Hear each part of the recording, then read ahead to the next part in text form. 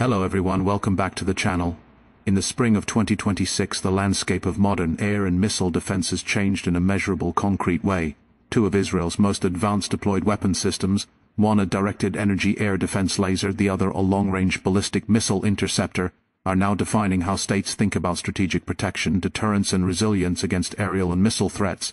Today we look beyond headlines and social media hype to explain in clear, precise terms what these systems are, how they work and why they matter in the broader context of regional security, defense cooperation, and the evolving nature of warfare.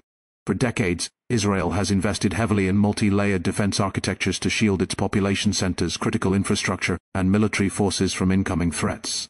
This approach was born out of experience repeated missile and rocket barrages from hostile actors and the increasing sophistication of state and non-state ballistic and cruise missile arsenals in the Middle East. Over time the resulting technologies have moved from concept to operational reality. Two systems in particular, Iron Beam and Arrow 3, stand at the forefront of these developments each addressing different points on the spectrum of aerial and missile defense. The first system we will examine is Iron Beam, Israel's operational high-energy laser weapon system, as of late 2025 the Israel Defense Forces formally integrated Iron Beam into their air defense network after more than a decade of development and testing. This deployment marks the first time a high-power laser system of this class has been fielded as part of national air defense architecture. Iron Beam was conceived to address a specific gap in air defense, intercepting short-range threats such as drones, rockets, mortars and other low-cost, low-signature aerial targets that often saturate conventional missile interceptors at disproportionate expense. It is not designed to replace existing missile-based defenses like the Iron Dome, David Sling or the Arrow family. Instead it complements them within a layered architecture that progressively engages threats from nearest and smallest to highest and longest range. The core of Iron Beam's capability is its directed energy laser, a solid-state high-energy beam that travels at the speed of light. When directed at a target, within line of sight, the laser delivers concentrated energy to a small area on the target structure, heating it rapidly until critical components fail. Unlike traditional interceptors such as rockets or missiles carrying explosive warheads, Iron Beam consumes electrical power. Once generated, the laser does not require discrete kinetic interceptors that must be manufactured, stored and launched individually.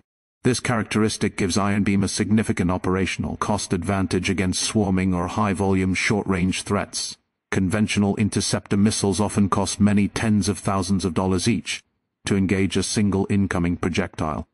By contrast, the primary cost for iron beam is the electrical energy needed to produce the directed energy pulse. This means that on a per-engagement basis the system can respond to multiple targets at lower expense and with potentially less logistical overhead. From a tactical standpoint, Iron Beam operates at a range measured in kilometers, sufficient to counter short-range rockets, artillery and unmanned aerial systems. Its deployment enhances defensive resilience by taking on the first wave, of small or cost-effective threats, while higher-tier missile interceptors focus on medium and long-range ballistic threats. Operationally it has been integrated into the existing command and control network of Israel's multi-layered air defense systems. For security analysts, Iron Beam represents a broader shift in how modern militaries think about energy-based weapons. Laser-based systems have been researched globally for decades, but few have transitioned into full operational service. Israel's deployment of Iron Beam thus provides a real-world reference point for directed energy weapons as components of a layered air defense strategy, rather than as isolated demonstrators or laboratory prototypes. The second system at the center of our discussion is Arrow 3, part of Israel's long-range ballistic missile defense capability. This system is the uppermost tier in the Arrow weapon family, designed to intercept ballistic missiles during their exoatmospheric flight, the phase when they are traveling outside the Earth's atmosphere, by engaging threats in space or near space. Arrow 3 significantly increases the range and window of opportunity for successful interception before a warhead re-enters the lower atmosphere.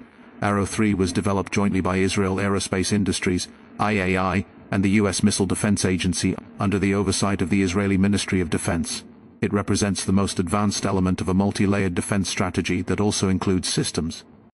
Like David's Sling and Iron Dome for medium and short-range threats, operational experience during recent regional tensions, showed the system's value.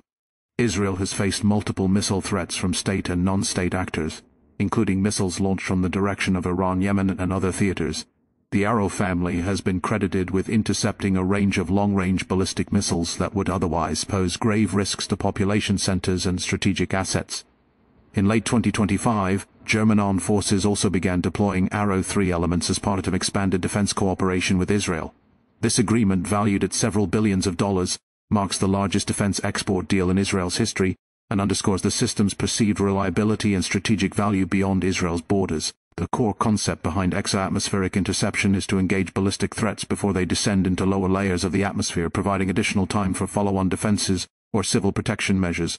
By destroying or diverting a missile in its mid-course phase, Arrow 3 reduces the number of interceptors needed in lower defense layers and mitigates the risk that a ballistic weapon's warhead could survive re-entry and strike a target.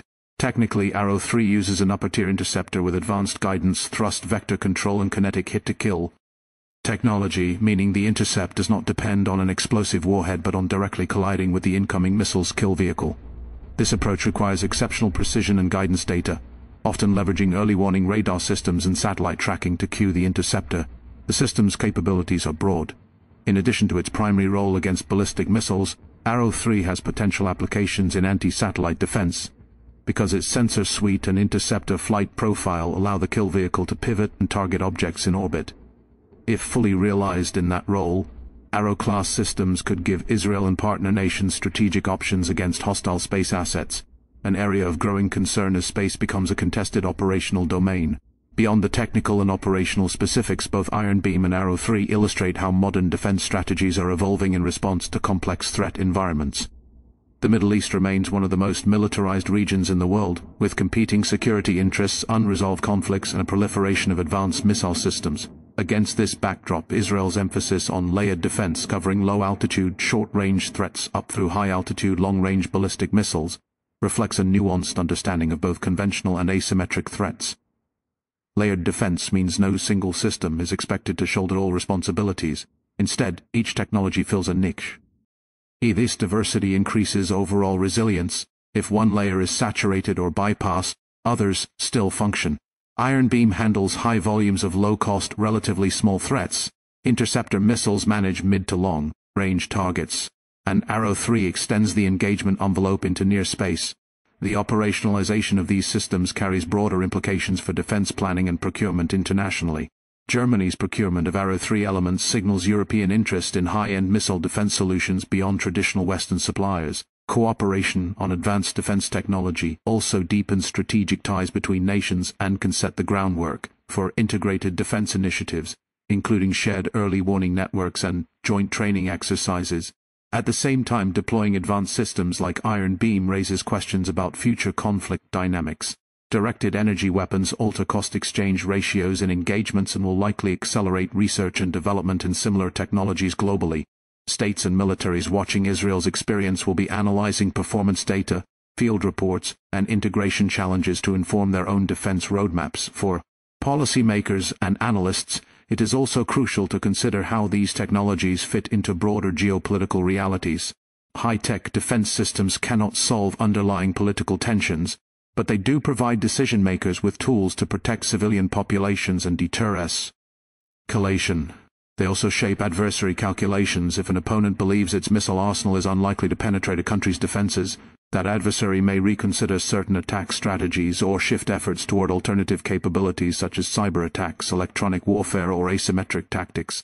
In the coming years we can expect the ongoing refinement of both Iron Beam and Arrow-class systems, along with the emergence of newer classes of defense technology.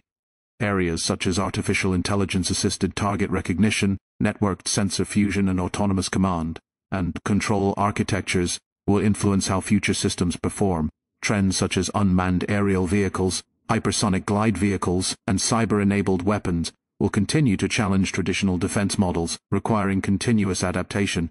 Yet as of 2026 the, the real operational deployment of both an integrated, high-energy laser defense, and an exo-atmospheric ballistic missile interceptor demonstrates a tangible shift in the practical realities of air and missile defense. These systems are not futuristic concepts, they are fielded technologies shaping current security environments, informing defense doctrine and providing measurable protective effects for populations and critical infrastructure in a region marked by persistent strategic uncertainty. Both Iron Beam and Arrow 3 are emblematic of a broader trend, nations are now developing and deploying defensive technologies that not only respond to current threats but anticipate future ones. In doing so, they expand the frontiers of what is technically feasible while grounding these advances in the imperatives of defense and deterrence. If you found this analysis useful, Don't forget to like, share, and subscribe for more war updates and global analysis.